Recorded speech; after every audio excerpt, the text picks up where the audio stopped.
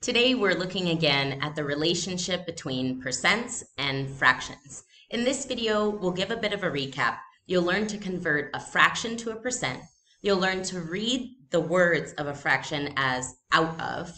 You'll learn to do a one-step problem with fractions and percents, and you'll compare a percent to a whole. Let's get started. Remember that percent means out of 100.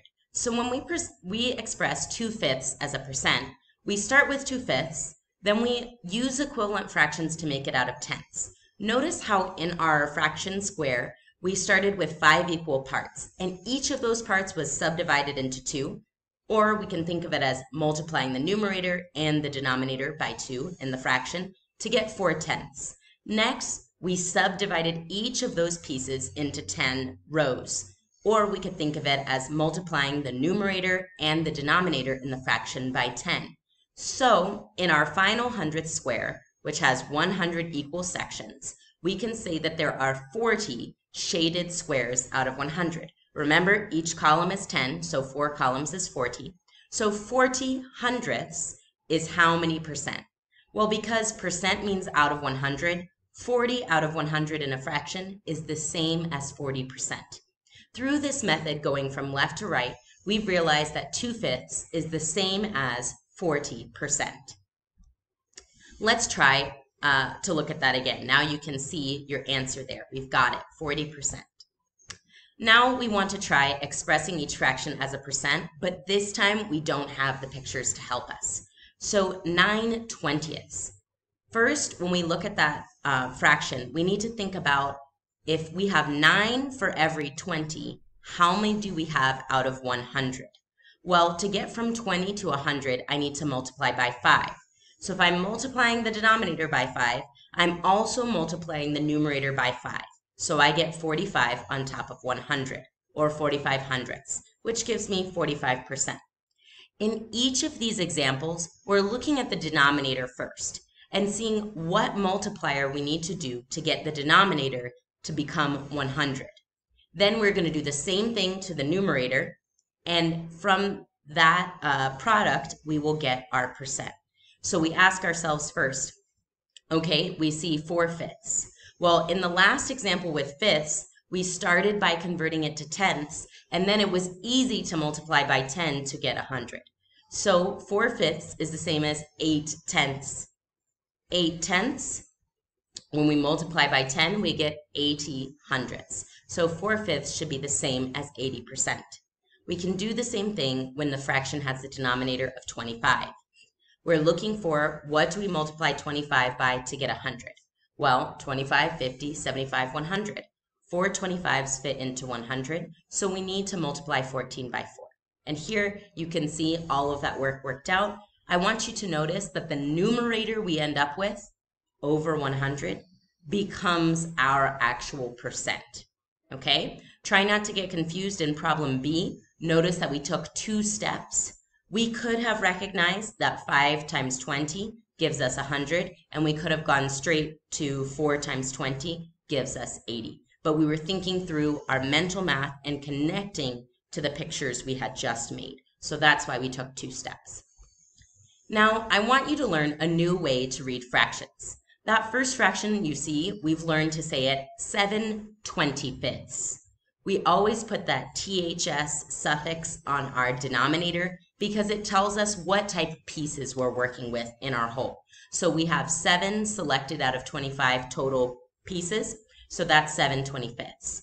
But we can also say that fraction as 7 out of 25. Remember that numerator tells us how many we've selected, and the 25 tells us the total number of parts in one whole. So we're going to express 7 out of 25 as a percent. We write 7 out of 25 as 7 25ths, and then we do our same method, recognizing that 25 times 4 gives us 100, and we need to multiply by 4 on the top as well. Now, using that out of terminology helps us better apply percents to real life problems. Let's look at one real life problem. Tara has 20 apples. 14 of those apples are red apples. What percentage are red apples? Well, 14 out of the 20 apples she has are red apples. So we can say 14 twentieths of the apples are red apples. Now we use the same method we've learned before. 20 times 5 gives us 100. So we need to multiply the numerator by 5. So we have 70 out of 100, which means 70%. 70% of Tara's apples are red.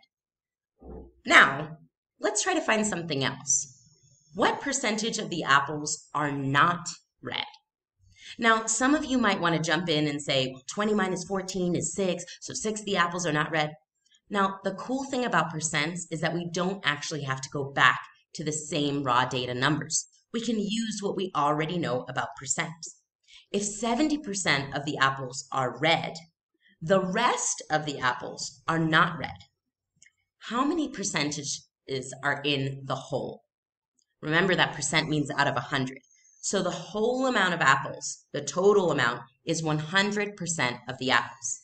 If 70% are red, 30% are not red because 100, the whole amount, minus 70 gives us 30%. So whenever you find the percent of something, you can also find the percent that is not whatever characteristic you've come up with by subtracting from 100. Let's look at a new real life problem.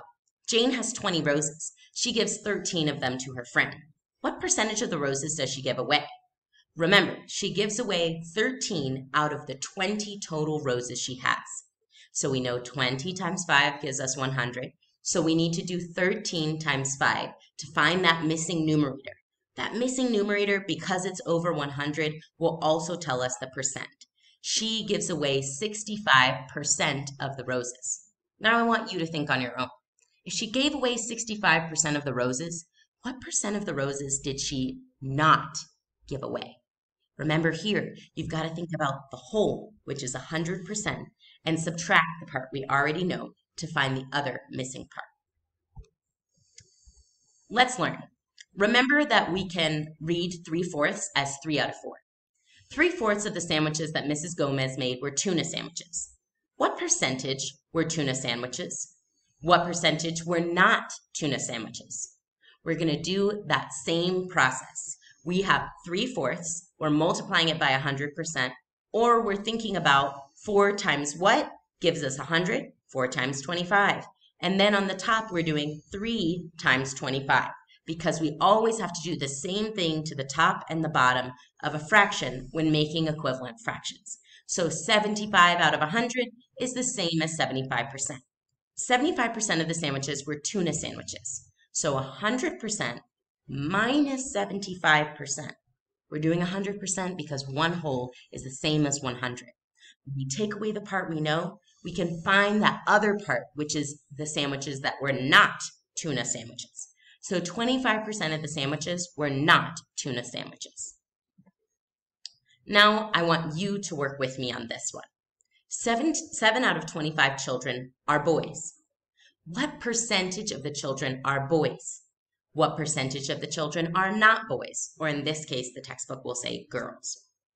So first, we multiply using equivalent fractions to find the percentage of the children that are boys. We know 25 times 4 gives us 100.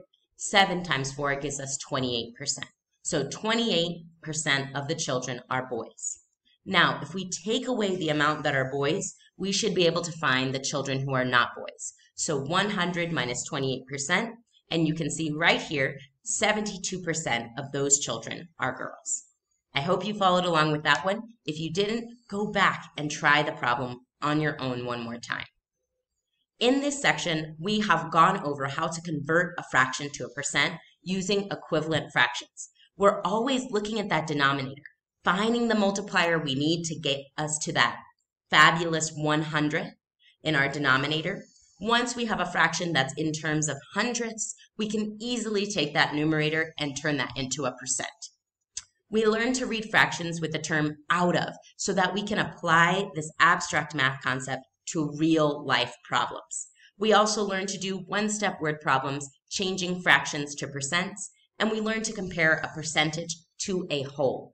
The whole is always 100%. So good luck, and I hope you get a 100% on today's classwork.